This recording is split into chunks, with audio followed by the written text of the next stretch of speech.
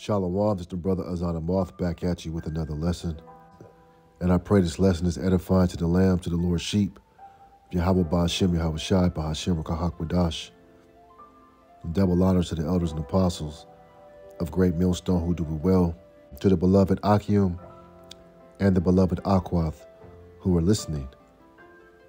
All right, now this video was sent to me after camp yesterday.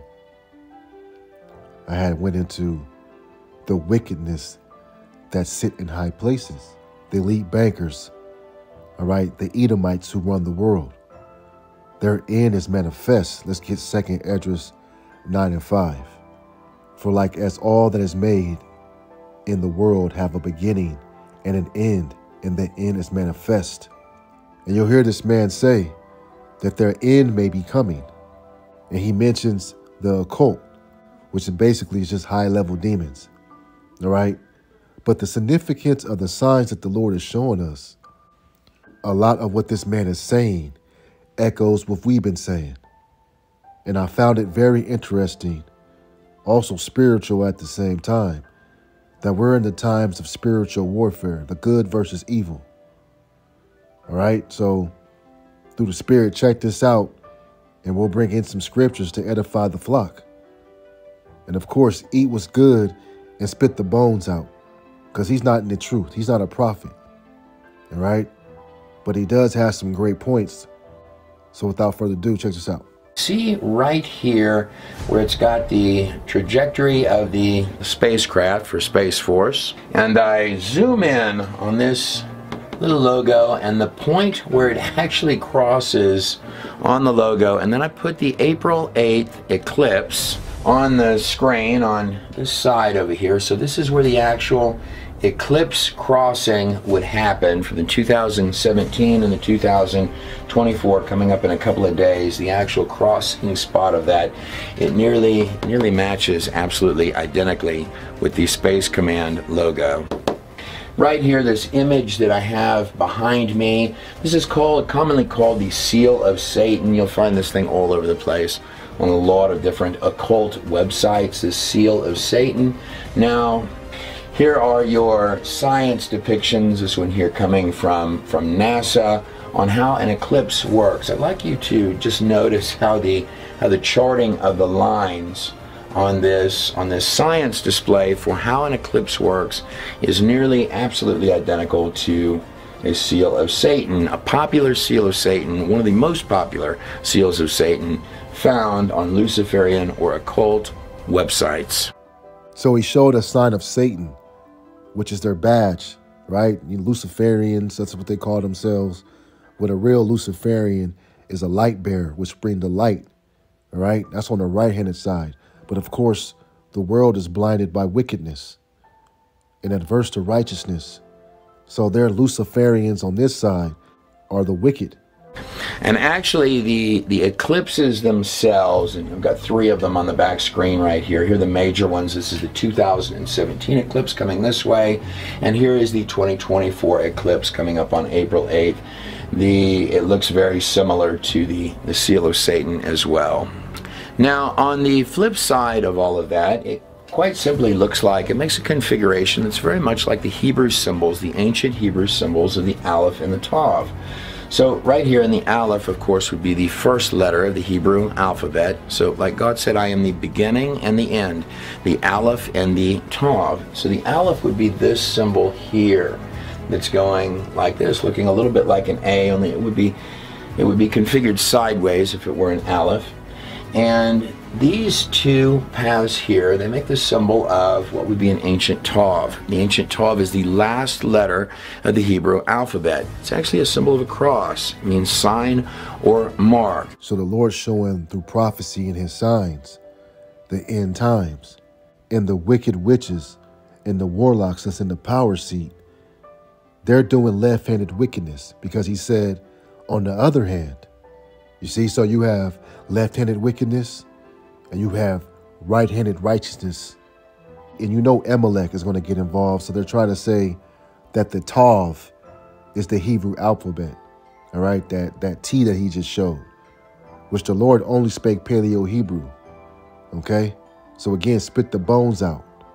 Nevertheless, you know, we're going to keep hitting these pointers to bring out this eclipse that it's a sign from the heavens from the Heavenly Father. But the wicked on the left handed side are bringing in enchantments.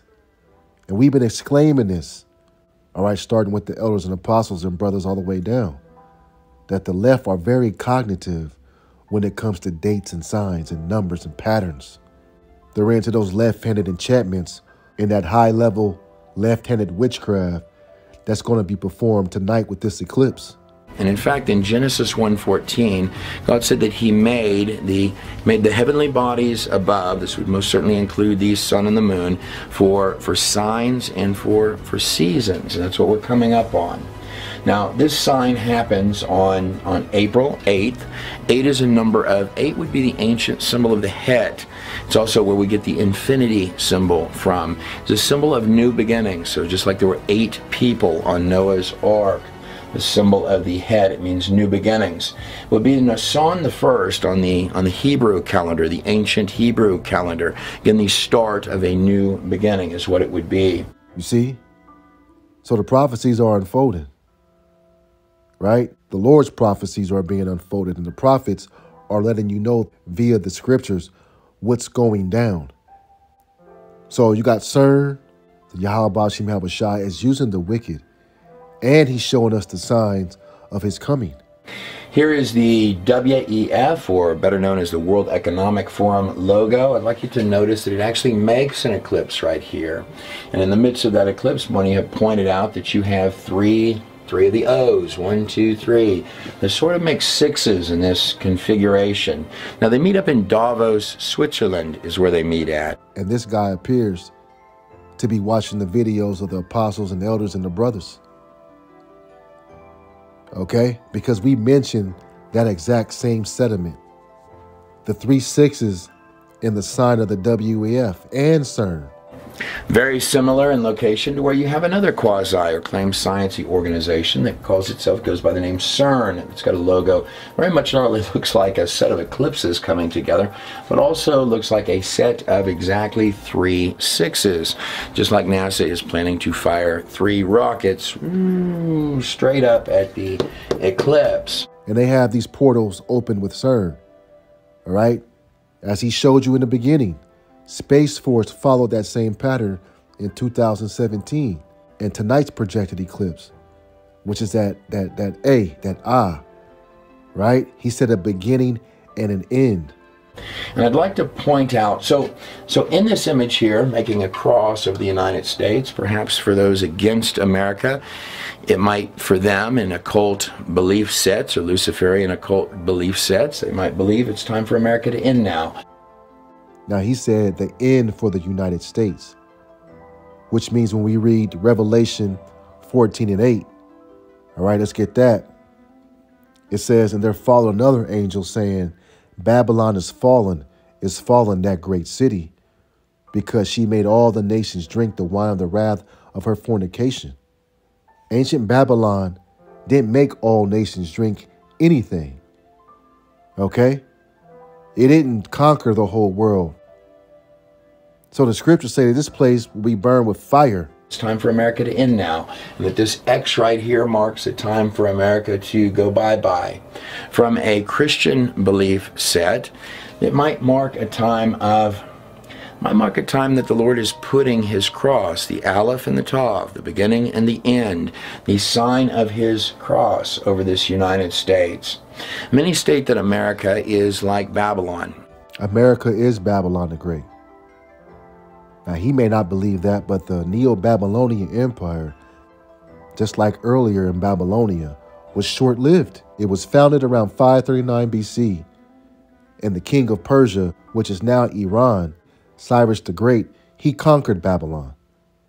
All right, the fall of Babylon was complete when that empire came under the control of the Persians.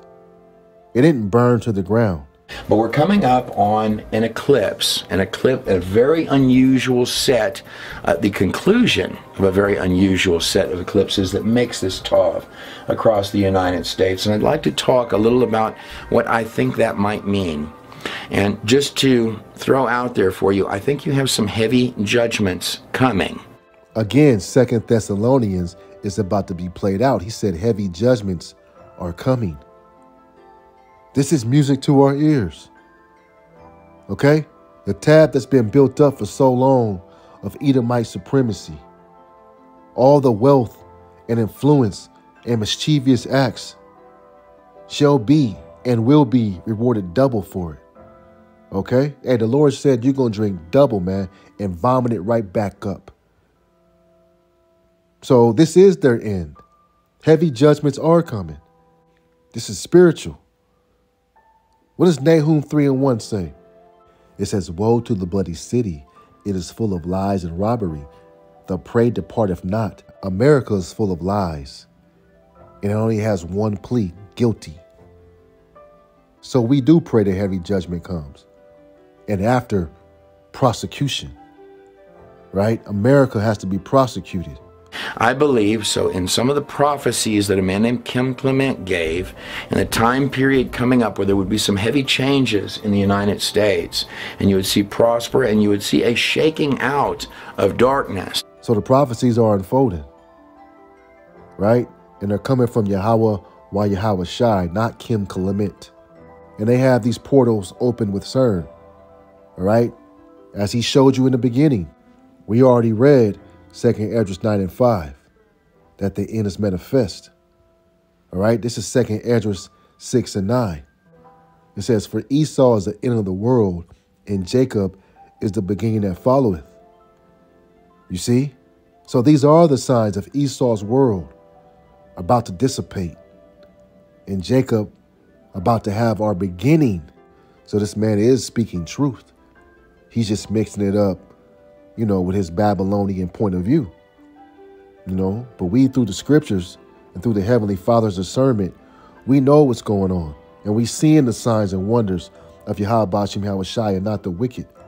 So right here in the Aleph, of course, would be the first letter of the Hebrew alphabet. So like God said, I am the beginning and the end, the Aleph and the Tav. So the Aleph would be this symbol here that's going like this, looking a little bit like an A, only it would be it would be configured sideways if it were an aleph. Listen, this is spiritual.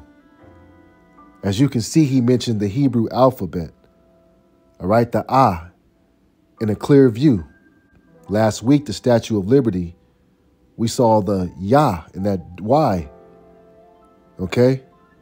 So it's almost as the Lord's about to spell out his name by the way of his signs, okay, and events that are playing out.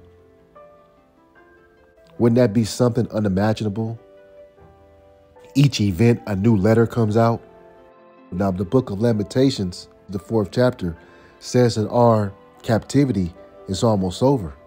So, this seal of Satan that they're showing, the wickedness that has grown, is about to be put out. Okay?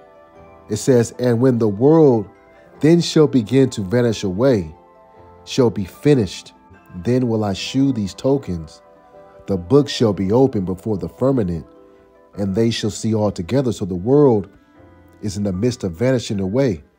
So these are the tokens that the Lord is showing us. If you pay attention to the omens, the curses, and the spells that's on the surface after this event, okay, and the blessings that will come out of it, okay, because the wicked is being revealed. They can do all the left-handed, all right, enchantments they want, but they're being revealed.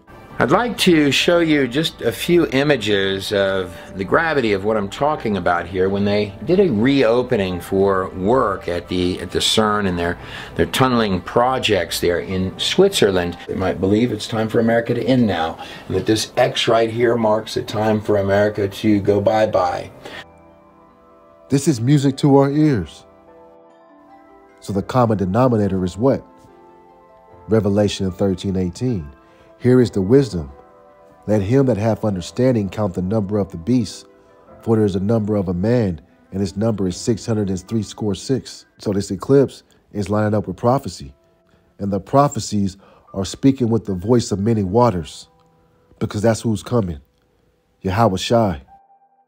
Claim Science Organization is putting forth responses stating that they are not opening a, a portal to the pit of hell, but in fact a they deny fully that they're opening a portal to the pit of hell. So I would note that in this video.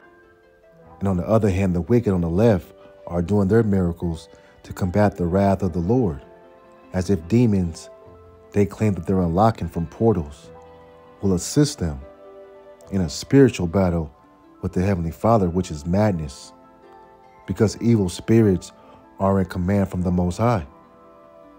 Right? Numbers 23 says, Surely there is no enchantment against Jacob, neither is there any divination against Israel.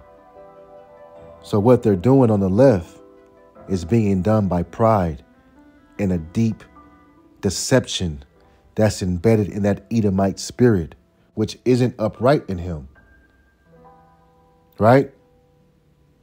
That's why America, aka Babylon, is being brought down to its destruction. And the moon eclipse tonight is for a declaration of times, an end of times. All right? Sirach 43 and 6, I'll end with this. He made the moon also to serve in her season for a declaration of times and a sign of the world. Yeah, a sign of the end.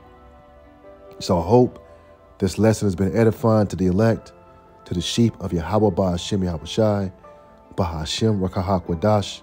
This the brother Azan Ha Ahmath. On to the next Shalom.